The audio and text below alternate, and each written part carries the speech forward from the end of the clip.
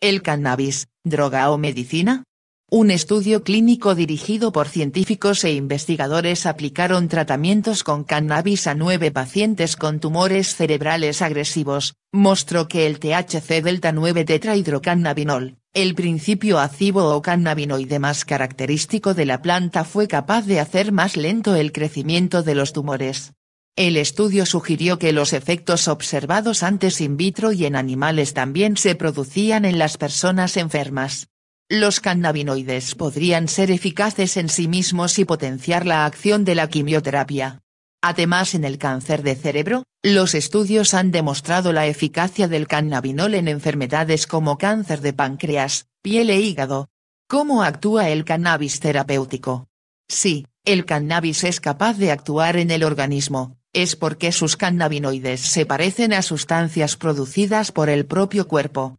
Al ser parecidas, se acoplan a los mismos receptores celulares.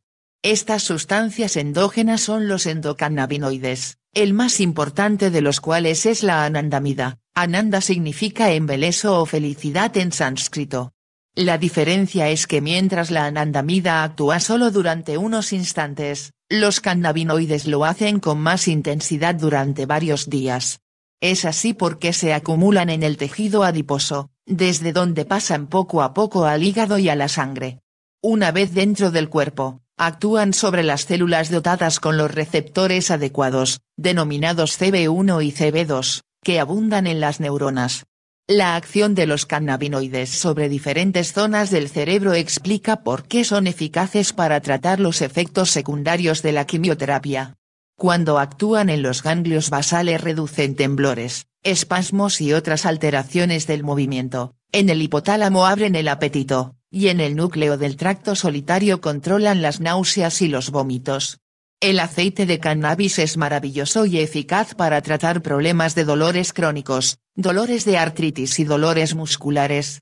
Sus beneficios para el cerebro los endocannabinoides, son cruciales en el desarrollo, comunicación y regeneración de las neuronas. Las investigaciones sugieren que el cannabis podría reducir la inflamación y la oxidación de las neuronas, y potenciar la generación de células nerviosas nuevas y sanas. Al mismo tiempo, el THC produce los síntomas que han provocado su prohibición, risa, lentitud, estados aletargados, dificultades para seguir conversaciones, pero también aumenta la creatividad y la agudeza sensorial.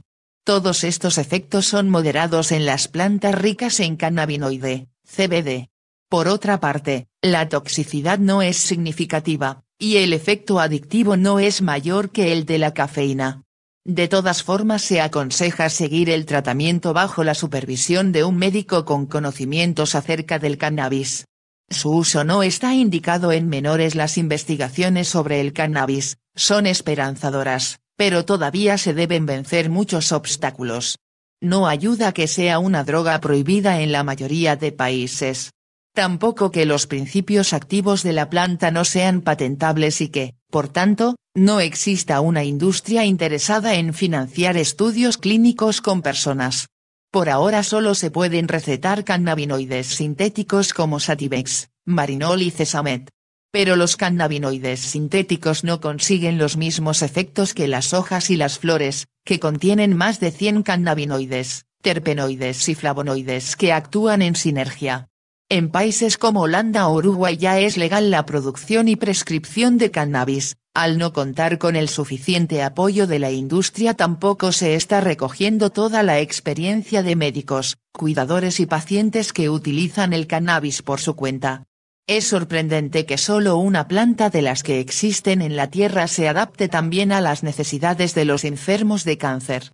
También es útil en el tratamiento del SIDA, el Parkinson, el Alzheimer, la esclerosis múltiple, la fibromialgia, el colon irritable. Sin embargo, los médicos no pueden recetar la planta de marihuana.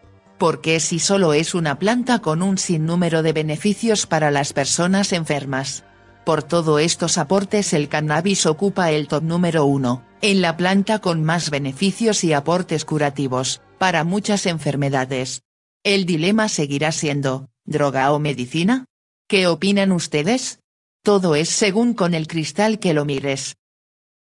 Este video ha sido creado con fines terapéuticos y educativos, no apoya la marihuana con fines recreativos. Pero eso no está en discusión. La marihuana es una planta que tiene grandes poderes sanativos. Su uso es de libre albedrío. Espero que este video les haya sido de utilidad, no olvides suscribirte para ver más vídeos de salud natural. Me ayudarían mucho si comparten este video y por favor comenten si quieren más vídeos como este. Namaste.